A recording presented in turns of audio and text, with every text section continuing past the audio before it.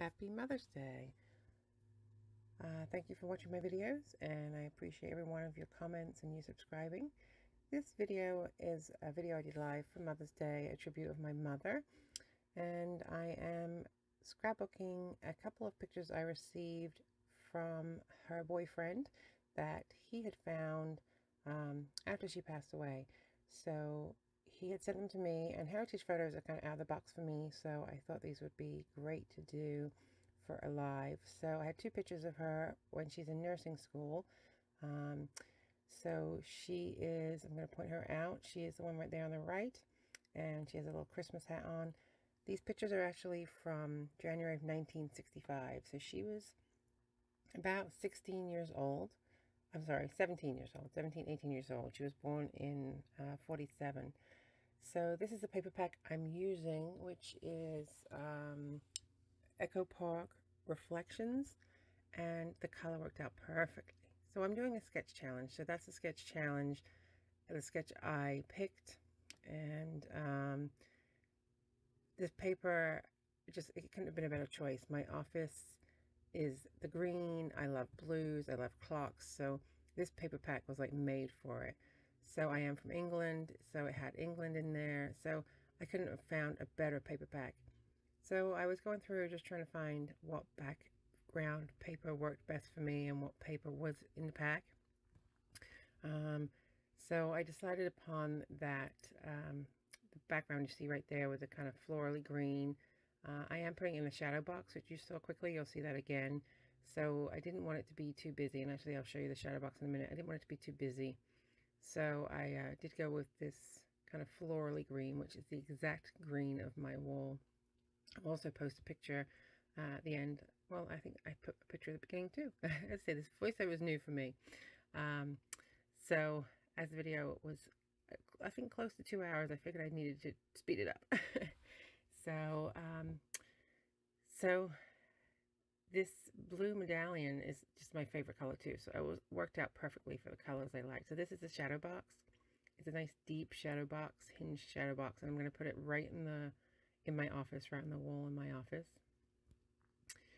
So it was nice because I could add depth. And this is one of the reasons I wanted to speed it too, is I was having issues with buffering.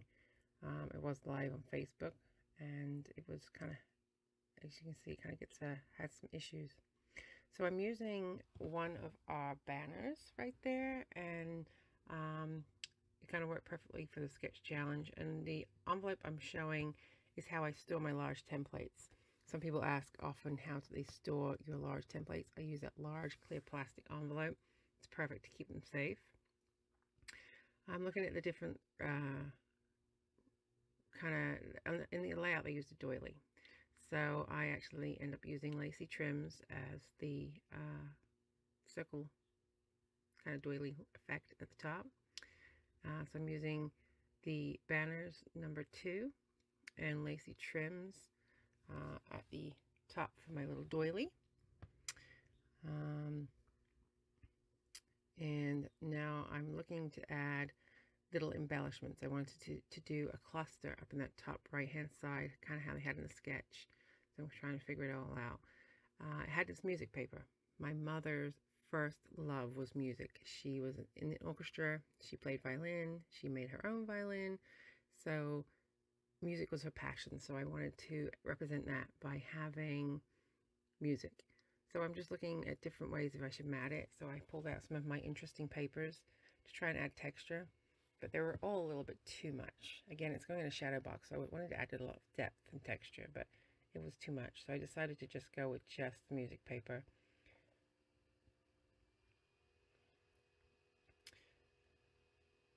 So I'm just trying to, again, layer the colors, trying to get an idea of, they're all very busy papers, so I didn't want too uh, many, you know, uh, um, I don't want it to clash. So I'm trying to do, you know, kind of the, the green and then break it up a bit and uh, play around with it. So I'm on the bottom there working on my title. I have the little tiny bracket and the tiny bracket is actually coordinates perfectly with that banners 2. I use brackets 1T. It's the exact same ending as our banners 2. So it coordinates And you'll see in a little bit, I'm going to use our tiny tag too, which also coordinates exactly with that ending. So it worked out perfectly for this video. Let me see. Uh, tiny tag number 6T I used, and they all coordinate, which worked out perfectly. So I'm just going through and cutting out my lacy trims, and I'm going to start cutting out my paper. I had to decide what size to do. Uh, I kind of just went with where the paper broke right down the middle. I figured it was kind of easiest because it would uh, look complete.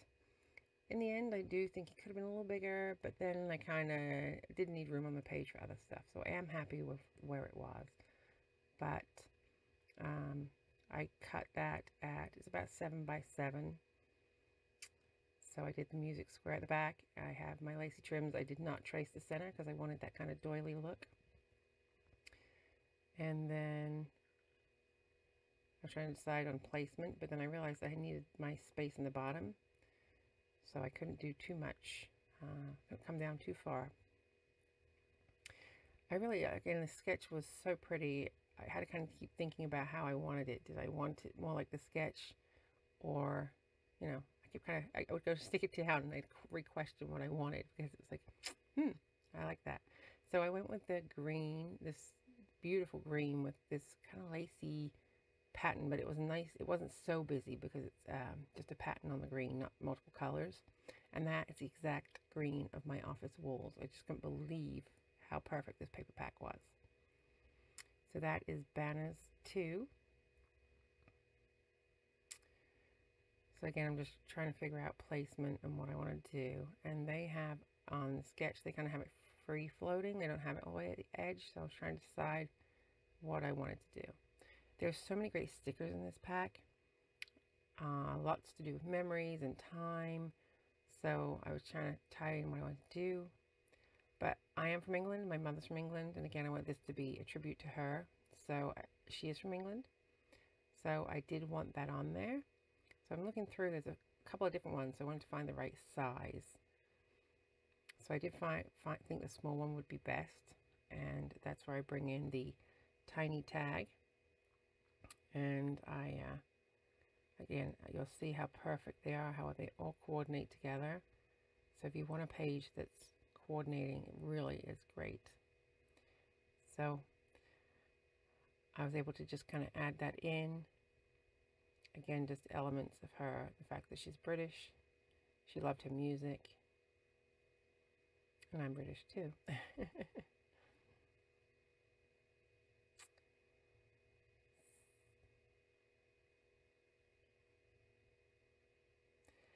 so, um, just trying to think of what else. Yeah, so, uh, yeah, so she did pass away 20 years ago. She was actually visiting here in America when she passed away. So, I don't have a lot of great pictures of her, so for me, this one's a really special one, and that's why I want to hang it up in my room. It's not kind of, um, I feel it's not morbid because it's not a newer picture of her. It's kind of a happy, I mean, she looks kind of, you know, young and goofy in her hat.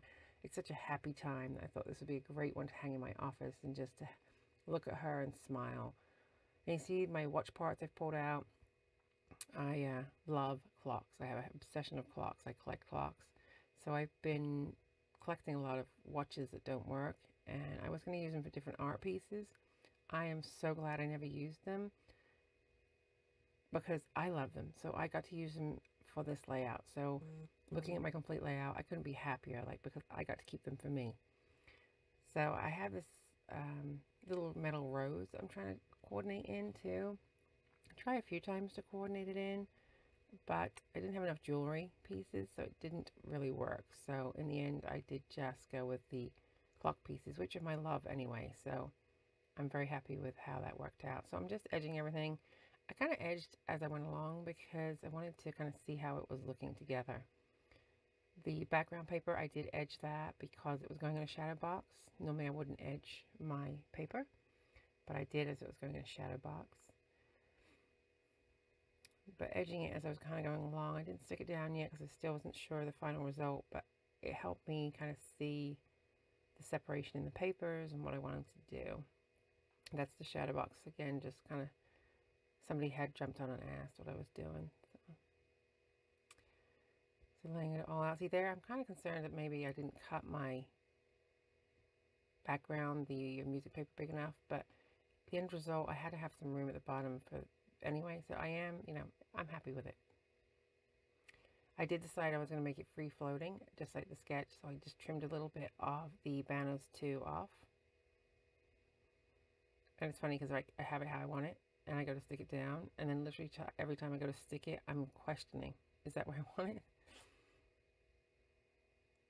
And then I'm just kind of looking at my bits and pieces now, trying to decide. And then I have brought out my little metal pieces, trying to decide if I just want to add in kind of vintage stuff there. So I'm looking at the different titles now, trying to decide what title to use. There's some really neat titles in this pack and neat sayings. This one says enjoy life. I think maybe I could use it. Uh, so just trying to decide what would fit, what looked best. And I had so much paper all over the place, so I was trying to decide what else I was going to use and got it out of the way. I was trying to, I was kind of getting buried in myself. A lot of the papers I felt were just too busy. I didn't want to, I like the keys, but I wanted to really keep it about time.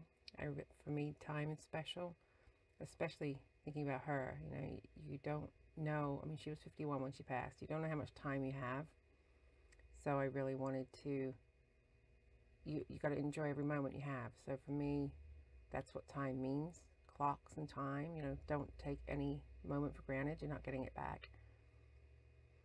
So I was going to incorporate uh, the paper of the clock paper. And I don't know, maybe I should have used more of it. Maybe, maybe I should have because I do think it's so cool that the clock paper was actually in that paper pack.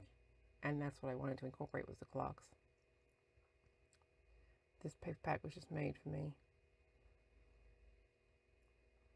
So I did use that one clock piece, but I actually buried it. You'll see at the end, you don't see it at all. I buried it under a, a real clock. This title right here, Cherish Yesterday, Dream Tomorrow, Live Today, is exactly what I want.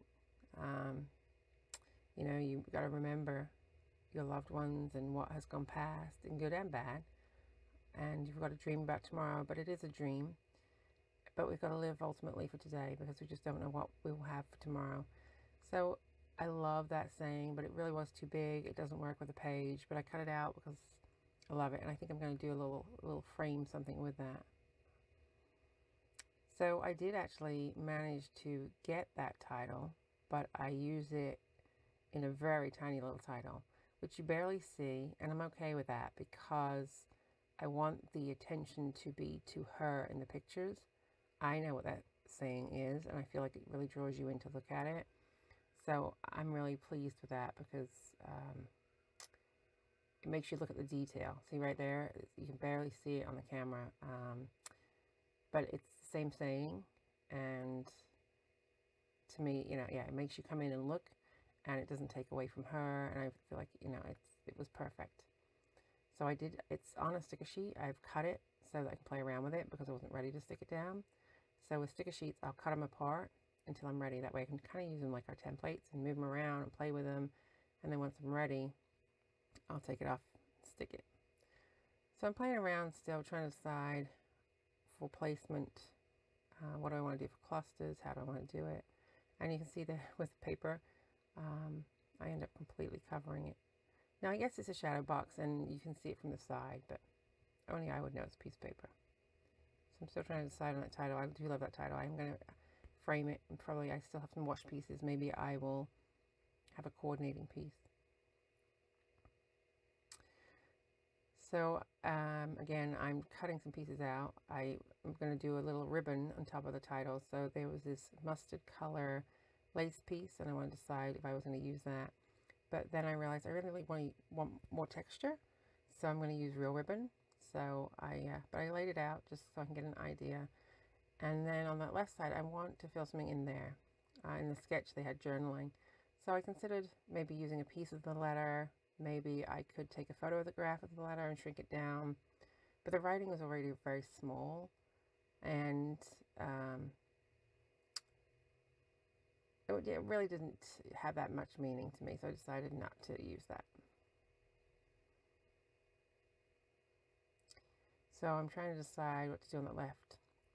I like that, the blue. I wanted to incorporate that blue kind of to spread it out. I have it on the bottom, I have it on the top. I really want to put that blue on that left side. So I'm trying to figure out what I can use to tie it all together, um, make it all work.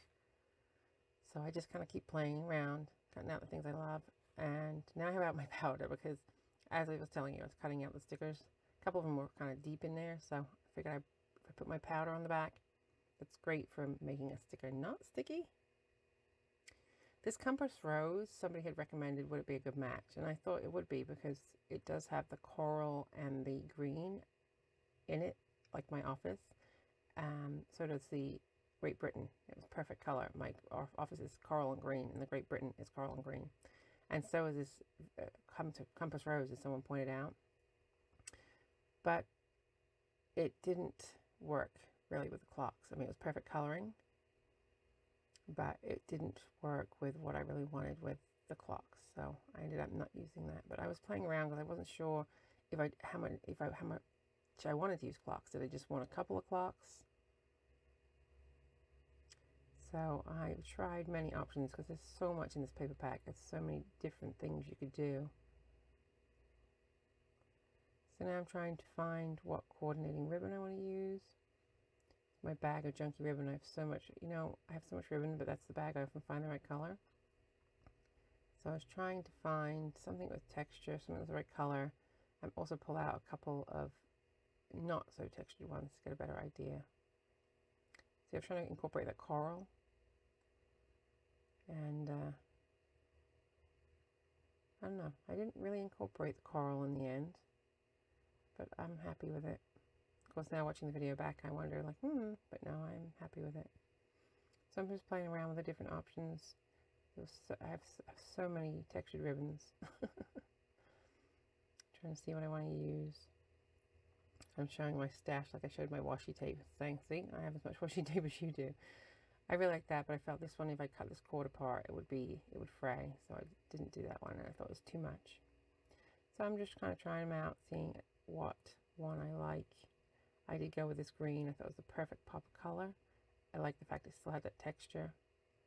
And I decided too how they had the, in the sketch, they kind of had a line down the side in that free form. So this would work perfectly for that. But I wasn't sure yet, so I cut it off. And then I just gently was trying to tack it down so I could see how it would look. But of course, trying to tack the curled up ribbon wasn't so easy. It kept trying to curl all over the place. So I I was trying. but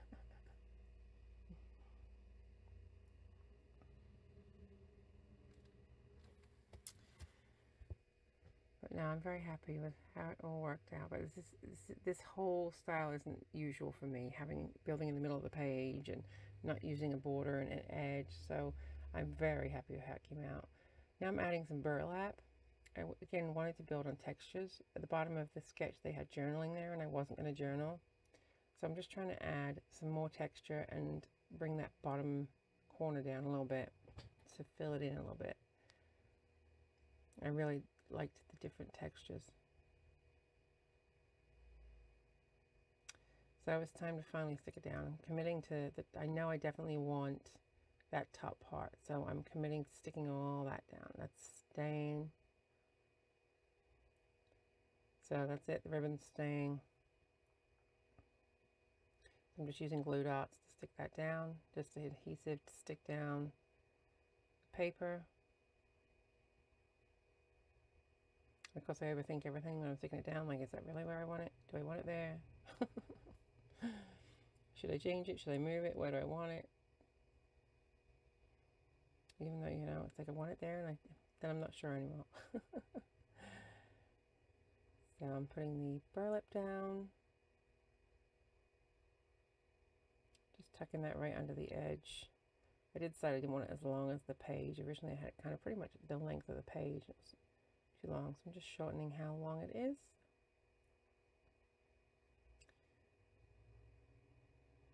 Then I realized my doily needs to be underneath, so I had to lift that up.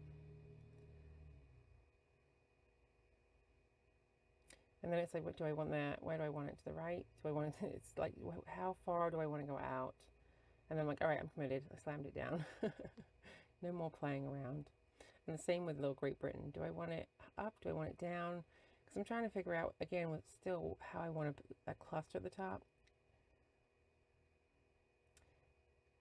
And then it was just placement of the photos. Did I want to square them? And I did end up squaring them out, and I really like that. It kind of made the neater look, took up less space.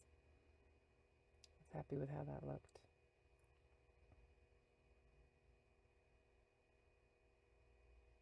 I did end up using glue dots to hold the pictures down because they were old and curled. Uh, they did want to keep curling, so I did use a couple of glue dots on the pictures in the end.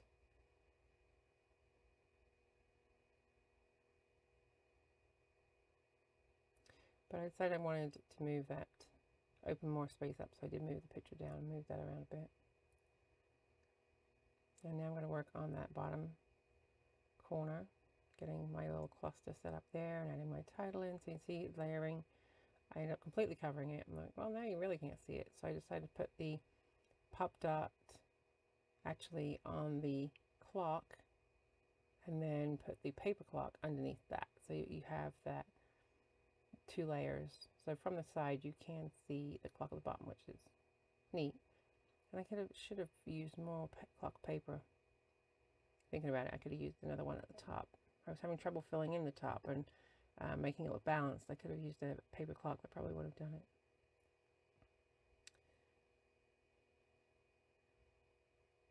I didn't like how far the burlap came out, so I decided to push it up higher as to give myself more room down there. I'm just using a little bit of that green ribbon again to come across the top and sticking it with glue dots. Lots of glue dots here. I'm using the large ones.